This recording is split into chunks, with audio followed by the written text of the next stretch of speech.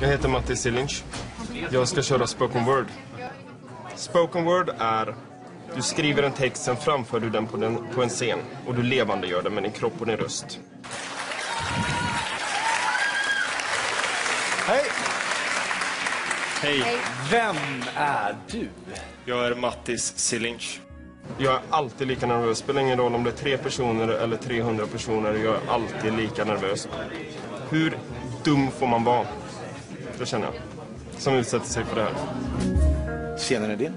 Tack så hemskt mycket. Thank you for the language. I will make it mine.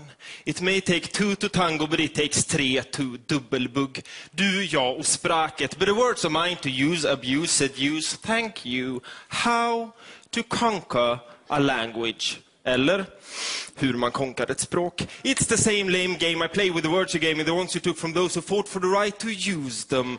Tack för orden utan borden, de är mina weapons of mass communication. It's awesome, word up. Och ordet är uppe, för det hänger som oslipade blankvapen över oss och det står oavgjort mellan pennan och svärdet, för språket är det med det högsta värdet och jag vill göra this language mine. Jag bänder det, jag böjer det, jag bryter på mitt eget fine. And I like the important bits, those for informanter och inte petitesser som spritts av språkpedanter.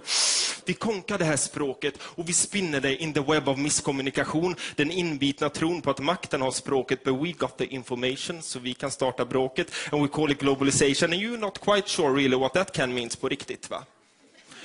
Egentligen har jag ännu inte funnit språket. Jag har bara hittat orden. Jag har inte heller funnit meningen, bara meningarna. Så jag greppar dem hårt. Tills until my knuckles bleed. För när orden tar slut, då tar nävarna vid.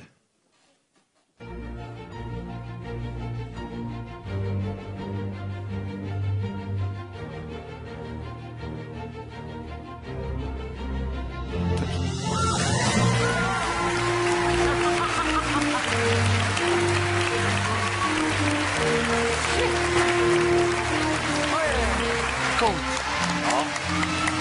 Intelligent underhållning, kan man kalla det det? Ja, det kan man nog göra.